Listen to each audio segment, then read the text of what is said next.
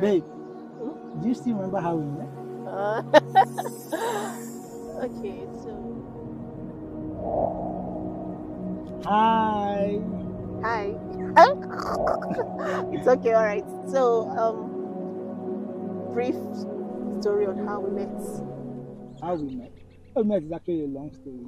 But, I, but, but, but I would like to cut it short. You know, we actually met at the gym and. Hmm? Where I went to lose weight. Why is she emphasizing on where she went to lose weight? Okay, but we both um, registered at Everyday Gym, Choba, when it just opened, and you know, we are trying to keep fit two individuals trying to see that they, they don't get too fat, majorly. And fortunately, I I got to meet her from the gym instructor that introduced me to her. Thank God they opened that gym because it was a new gym as at then. Um, I registered because I wanted to lose weight. I wasn't looking for love. so I met him at the gym. We weren't friends in the first place, but one of the gym instructors, Prince, introduced him to me. He said, Meet Izzy, or meet one of your um, students. and he said, Hi, my name is Izzy. Though he always denied that I never said his name I is never Izzy. said I never said that. No. But I heard my name is I never said that. Okay, so um, after a while, I didn't like him because he always showed himself carrying weight, doing things, telling you you're not working out well, as if it was because of him. I, I registered at the gym. Really? Uh-huh. Fast forward, uh, we got close by our friend Zobari. Shout out to Zobari, she's in Canada currently. we realized we were staying in the same area first, so we started going to the gym together. Okay, okay. So after that, lockdown came. Lockdown. And she said she wanted to learn how to ride the bicycle. Oh So- yeah, So we I got a bicycle without knowing how to ride. So yeah, so I had to teach her how to ride the bicycle. So our love story actually started from learning how to ride the bicycle and we became close. We, during the lockdown, we were both staying in the same vicinity, so we were both always together throughout the lockdown. And voila, uh, I asked her out sometime. he knows how to mix mix things.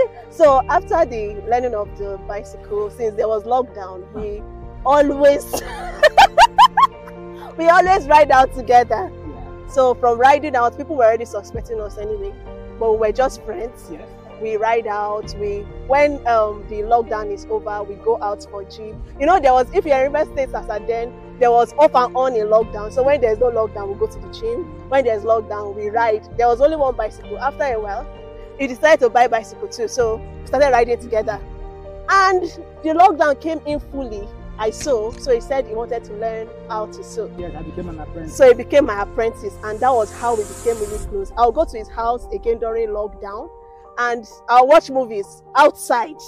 He will bring out his laptop outside. His uncle with snacks. with snacks. with a particular biscuit that I like. He introduced me to I forgot his name of the biscuit and Zobo. She ate a lot of So I I was watching introduced me to series. I never liked movies. I never liked series. So watching movies, riding bicycle and all those things and also learning how to sew brought us close. We saw that our views were aligning. Even though I wasn't seeing him in the light of let me even date him. After a while, in fact I opened a group, a dating group that I added him to the group so that I can find love. so, unfortunately for him, or fortunately for him, because he got the real package, fortunately for him, he did not see love on the group and he was taking the main package. See me now. So- of the group. I went, I went for the owner of the group. I celebrated my birthday in July that same year, 2020. He followed me there because I organized it for the group members, and um, that was where the question started. Can you be my girlfriend? so after thinking it through and plenty, plenty things, we decided like, let's give it a trial.